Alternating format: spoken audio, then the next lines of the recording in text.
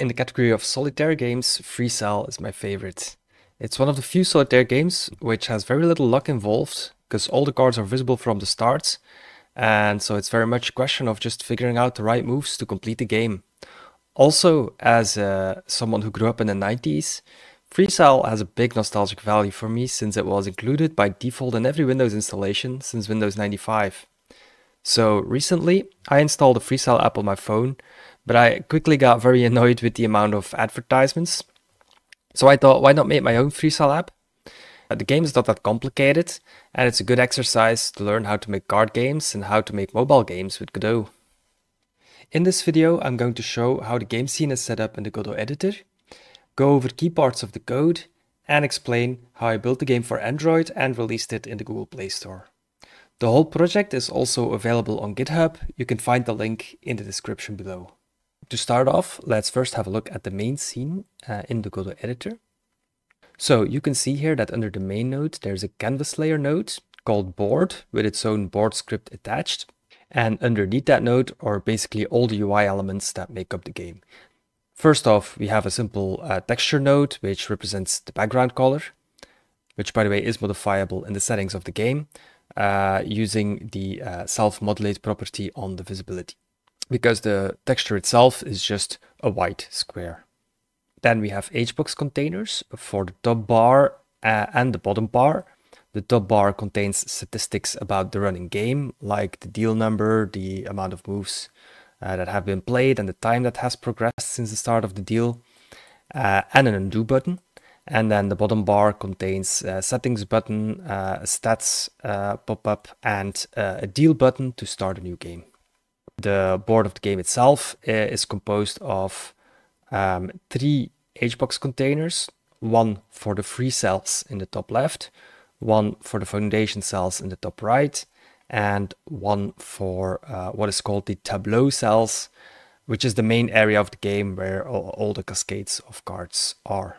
Also, I got a control nodes containing the menus, a control nodes containing the pop-ups that uh, are necessary for the game, and then a node uh, with a game timer. Next to the main scene, there's a card scene that gets instantiated for every card on the board. The main node of the card scene is a button which has a card script attached for handling card movement, and it has a sprite2d child node with a script attached that handles selecting the correct card sprite from a sprite sheet. The card sprites come from a free card asset pack by Nato Marcacini on itch.io. You can find a link to the asset in the description below. So to dive into the scripts of the game, let's start by simply seeing how a new game is dealt. For that, we'll take a look at the deal script. Now the deal script has different functionalities because in the deal menu, there's multiple options the player can choose. You can choose a completely random deal. You can choose to enter deal numbers to deal a custom deal based on a certain seed. And you can choose to uh, redeal the actual deal you were in or you can play the challenge mode, which follows a predefined path with uh, deals ranging from easy to hard as you continue uh, winning games. The deal algorithm itself is the same one as is used in Windows FreeCell. It's a pseudo-random algorithm that generates a deal based on a seed or a deal number. Due to popularity of Windows FreeCell, these deal numbers have become widely used by people uh, to share games, and that's why I implemented the same algorithm. At the core of the algorithm is a pseudo-random number generator, which gets fed the seed to generate a sequence of pseudo-random numbers. By doing a modulo operation with the number of cards left to deal, we get the number of the next card we need to deal. Initially, our deck is sorted from aces to kings, and whenever we deal a card, uh, we move the last card in the deck to the spot of the card we just dealt. I assume this was done for performance reasons to not have to shift uh, over all the following cards one position. The first card is dealt to the leftmost tableau cell, and we shift right after every card dealt, and we wrap back to the leftmost cell after we dealt the card to the rightmost cell. We continue this until all the cards in the deck are dealt. As you can already see here, we instantiate the instance of a card scene for every card we deal. The card scene handles the main logic for moving the cards around. It's an extension of button, so we can make use of the on button up and on button down. But this is not strictly necessary. You could just as well extend this from any other node and use the on input event to handle the mouse action. In the on button down function, we save the current card position, so we know where to restore the card if the player releases the card in an illegal location. We also set the z-index of the cards to a high number so that we're sure that while dragging, the card will always be in front of other cards on the board. If the card is part of a sequence or cascade, and so has other cards below it, it will have a child card registered, which by the way isn't uh, a child in the hierarchy, so sorry for this confusing variable name. So we call the start dragging function on that child card to allow the player to drag the whole sequence at once. While dragging, we add the movement of the mouse cursor to the position of the cards and its children so that they follow the mouse. And then on button up, we call a function in the board script that tells us which cell or cards are currently over, and we check if the card is allowed on that cell. Checking if a card is allowed in a cell depends on the type of cell. For a free cell, a card is allowed if the cell is empty and the card we're dragging doesn't have any cards below it. For a foundation cell, the card is allowed if the cell is empty and the card is an ace, or if the card is the same suit as the cards on the foundation pile and the rank of the new card is exactly one bigger than the top card of the pile. And for a tableau cell, the card is allowed if the card and its children form an allowed sequence, which means alternating colors and ranks counting down. And if there's enough free cells to move cascade of that size, and if the target cell is either empty or the last card is a different color and exactly one rank higher than the cards being dragged on top. Now, if after all of this the card is not allowed in the cell, then it's reverted back to its original position. If it is allowed in the cell, then the card and its children get removed from the cell they were in and added to the target cell. The target cell add card function also makes sure the new cards are positioned correctly and any card's child references are correctly updated. After every move of cards to a foundation cell, there's also a check to verify whether the game is successfully completed. On button up, there's also a double click check. In case the card was double clicked, we check if it can move to one of the foundation piles, and if not, if it can move to one of the free cells. Whenever a card is moved, a card moved signal is emitted. In the board script, the signal is picked up to update a move counter and check if some cards can be auto-moved to the foundation. There are four autocomplete settings. Each of these modes have their own checks and moving logic, which I won't explain in detail here. If you're interested, you can check out the code on GitHub. There's also a player profile class, which extends the resource class that contains player stats and player settings, and logic to save and load it to a file.